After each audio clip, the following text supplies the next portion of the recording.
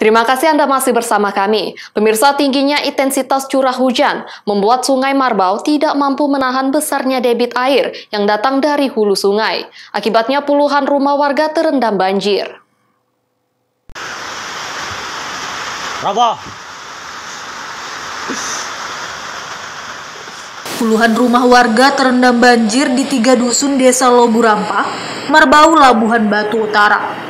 Bencana ini disebabkan derasnya guyuran hujan, membuat sungai Marbau tidak mampu menampung besarnya debit air, sehingga meluap ke pemukiman warga di dataran rendah.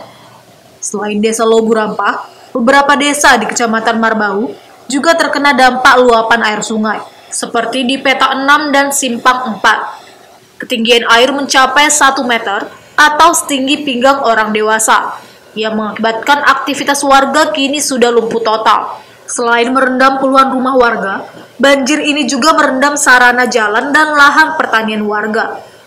Menurut salah seorang warga, Maratua Hasibuan menyebutkan, banjir disebabkan tingginya curah hujan yang membuat sungai Marbau tidak mampu menahan besarnya debit air yang datang dan daerah mereka merupakan rawan banjir. Ya, oh, tidak jauh. Gimana, Pak? Apa yang mesti cerita?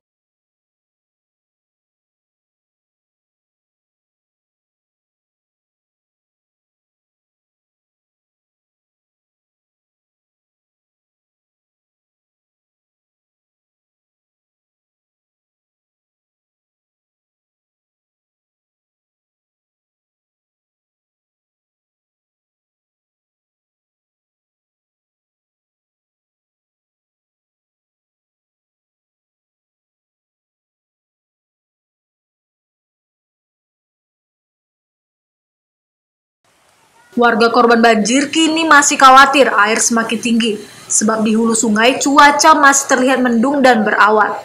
Tidak ada korban jiwa dalam peristiwa ini, namun kerugian ditaksir mencapai ratusan juta rupiah.